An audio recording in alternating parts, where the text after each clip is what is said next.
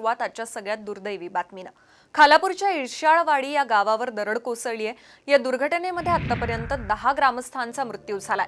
तर शंभरपेक्षा जास्त जण अजूनही दरडीखाली असल्याची भीती व्यक्त केली जाते त्यांना दरडीखालून बाहेर काढण्यासाठी सर्व शासकीय यंत्रणा सध्या काम करतात एकवीस जखमींवर एमजीएम रुग्णालयात उपचार सुरू आहे. दरम्यान अहवालानुसार दोनशे अठ्ठावीस पैकी सत्तर जण हे सुखरूप आहेत अशी माहिती उपमुख्यमंत्री देवेंद्र फडणवीसांनी सभागृहात दिली आहे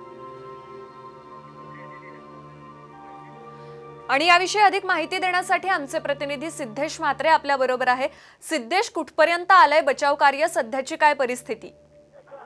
बचाव कार्य पाहायला गेलं तर अद्यापही सुरू आहे. मोठ्या प्रमाणावरती जे रेस्क्यू टीम आहेत त्या या ठिकाणी दाखल होत आहेत. मी सध्या याच इरसाळगडाच्या पायथ्याशी आपण उभा आणि आपण पाहू शकतात मोठ्या प्रमाणात हे रेस्क्यू टीम जी आहे ती पोहोचलेली आहे.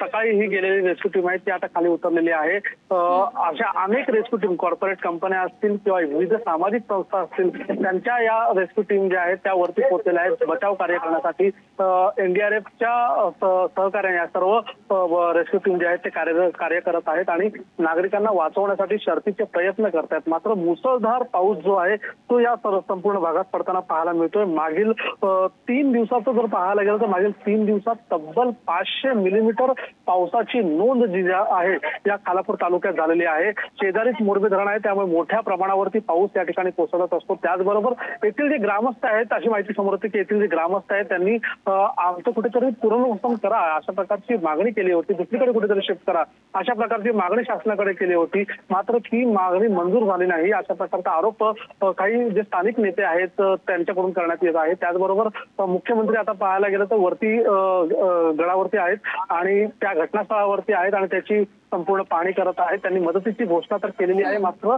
बचाव कार्य आता सध्या अजूनही सुरू आहे आणि त्याला भरपूर वेळ लागण्याची शक्यता देखील वर्तवण्यात येत आहे. कारण फारच उंचीवरती ही जी दुर्घटना आहे ती घडलेली आहे.